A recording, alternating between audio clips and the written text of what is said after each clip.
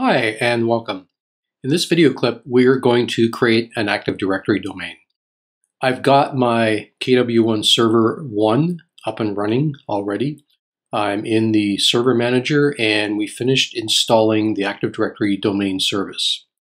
Once that's finished, you'll see a notification that's up here on the toolbar. If I open that, there is a link here to promote the server to a domain controller. That's there because we've installed the service, but we've not configured it yet.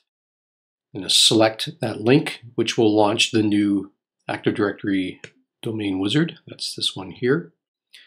And it's going to prompt us for a number of pieces of information. So the first thing is, what are we going to do with this server? The default is adding a domain controller to an existing domain. Uh, we don't have a domain or anything else yet, so we're going to start by creating a new forest. I'll select that option, and it's now prompting us for the name of the root domain. So I'm going to use last name and then .local. So Dickson.local. Click on next. It's now searching around on the network to find out if there's already a domain out there with that name because we can't have two different domains with the same name on one network. Uh, it's going to take a few seconds to do this, and when it's finished, it's going to allow us to move forward.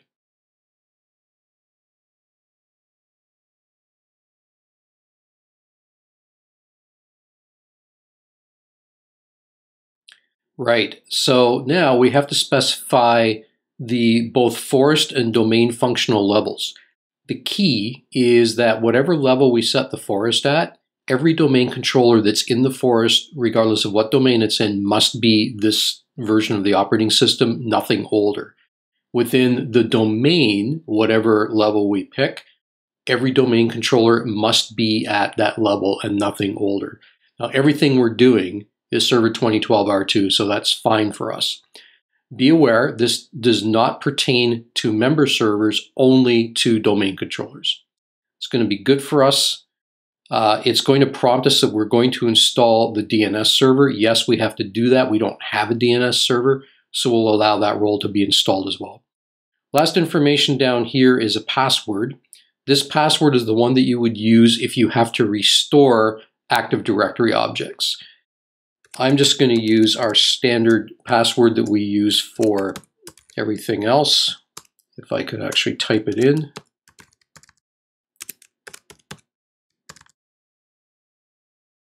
This is the password that you hope that you never have to use because it's going to be there if you messed up most likely. You are going to want this to be very complex. It's something that you're probably not going to remember, so that gets recorded and stored in your IT vault where people are not going to find it. Move on to the next screen. Now what this is prompting for is it's looking for a parent DNS domain that can be used to set up delegation. And there is no parent for .local. So that's why it's kind of warning us about this. It's not a big deal. It's fine if you cannot set up the delegation in our case. If we were setting up a child domain within Active Directory and it couldn't find the parent for delegation, that would be a problem and we need to go and fix that. Now, the next thing it's done is look for a NetBIOS domain name. So in other words, the old Microsoft protocol domain name. This is always going to end up being the leftmost uh, word in your domain string. So Dickson.local, it chose Dickson. It's showing us this because it has not found one on the network and therefore says that we can use this name. Great. I will continue to use that, no problem.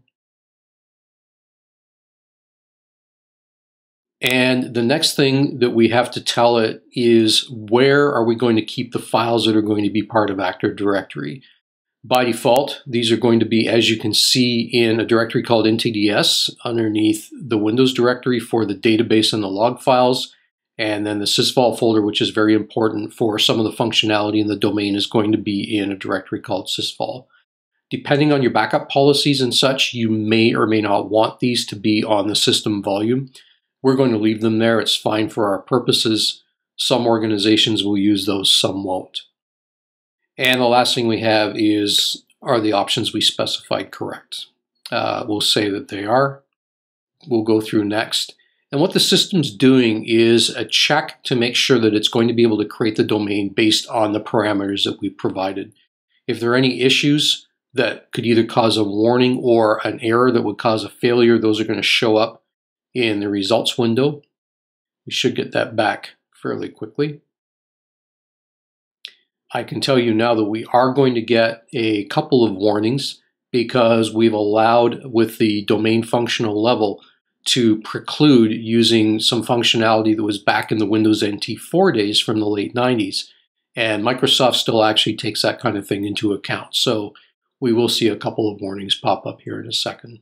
And there they are. So just the top one, we can see that Windows Server 2012 R2 uh, have a default setting. The cryptography algorithms are not going to be compatible with Windows NT4, meaning that Windows NT4 systems are not going to work in this domain. I would suggest most of you will probably never see a Windows NT4 system, so the vast majority of people, not an issue. If we're happy with everything, uh, all we have to do is say install, and the system will now go off and do the installation. This is going to take uh, several minutes before it's finished and then it's going to reboot. Rather than wasting a bunch of video and just sitting here staring at the screen, I'll pause at this point in time and we'll be back in a few minutes. All right, so our system's rebooted. I'm just going to log in again.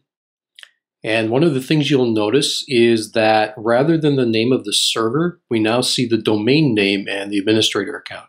So we can no longer log in with those local users going to log in. The new domain administrator account maintains the password of the original one that was on the system, so we don't have to make any changes there. Once we are in, I'm going to show you a few things that have now changed.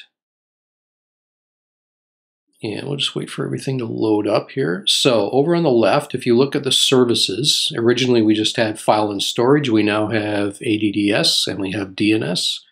One thing I want you to note is that you can use these links on the left to see information about those services, but you don't configure from there. So for example, if I select DNS, uh, once it pulls the information up, I can see information about the server, any events that are related uh, to DNS, um, the services, best practices analyzer, that type of thing, but no configuration. The configuration functionality is in the tools dropdown. So a number of new tools have been added in here. You can see a list of Active Directory tools that are up at the top. There's DNS here, uh, that type of a thing. We're looking at DNS a little bit further down the road. But one thing I'd like to do to wrap up what we were doing here is set up a couple of user accounts. It's a pretty common practice in Active Directory. We don't want to be using the administrator account. We have a couple tools for dealing with this. One is mm-hmm. Active Directory users and computers. The other one is Active Directory Administrative Center. Uh, Active Directory users and computers is older. Uh, Active Directory Admin Center is newer. So ADAC has some new functionality to it that you're not going to find in ADUC. Um, I'm going to use uh, Active Directory users and computers. You can use whichever one that you like. In fact, I would suggest you try both of them. I'm using this one just because it's a little bit easier to see the way the uh, hierarchical structure is set up a little bit. Expand out my domain. We see a number of containers here. Uh, one is domain controllers that has the domain controllers in it. So here's my KW server one. Um, we also have a bunch of existing users and groups, that type of a thing. Uh, we've also got a bunch of built-in groups for the specific server rather than the domain. But to get started, what I'm going to do is create an organizational unit for my IT staff.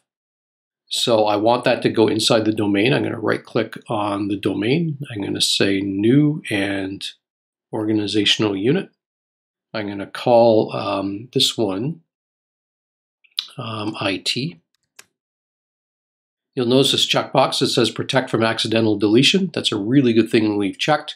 What that means is if you right click and try to delete it, it's not going to let you until you actually go into the properties and clear that checkbox.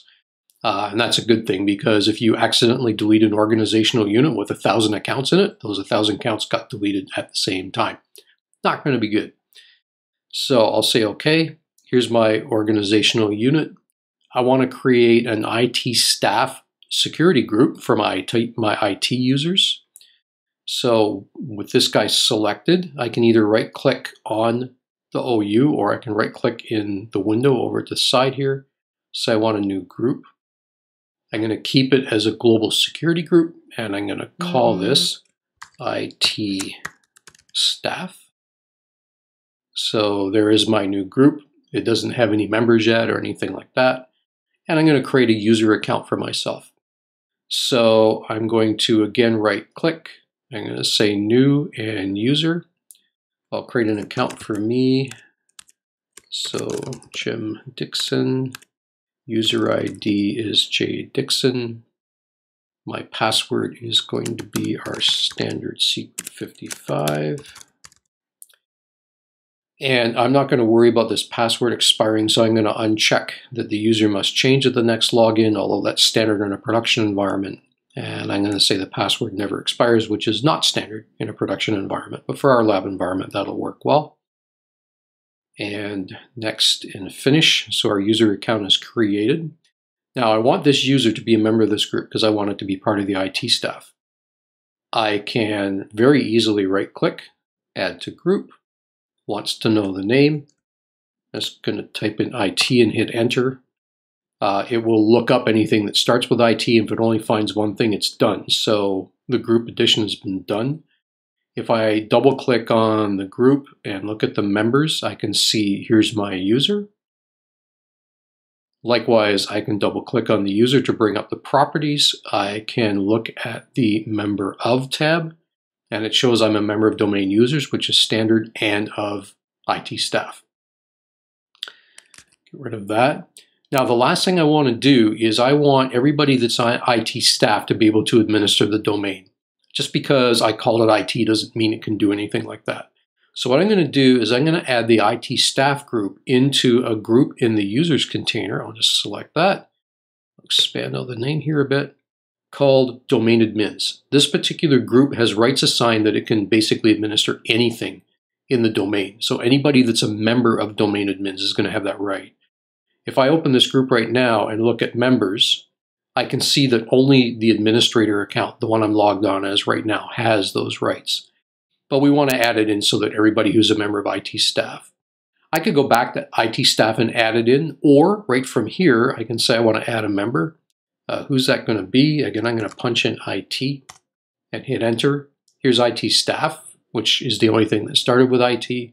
So as soon as I say OK, that means IT staff is going to obtain domain admin rights, which means anybody who is a member of that group is going to obtain domain admin rights, and we're basically good to go. So I'm going to say OK, and I'm going to close this out. And just to test everything, I'm going to log off as administrator. I'm going to log on as my account and make sure that that works. So let's come down here and right click and sign out. Which will come up to my login prompt. So I'll control alt delete.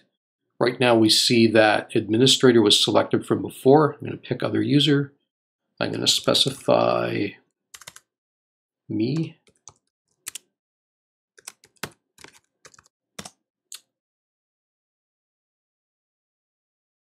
And I'm in. Awesome. So you can see Server Manager loading up because I am manager. I have admin rights, and basically I can now do everything that the administrator account can do. And all of the audit logs are going to be um, pointing to me doing things instead of the administrator, which everybody might share. I'm not going to worry about that for now. That's it for this video. Hope it was helpful, and we'll see you next time.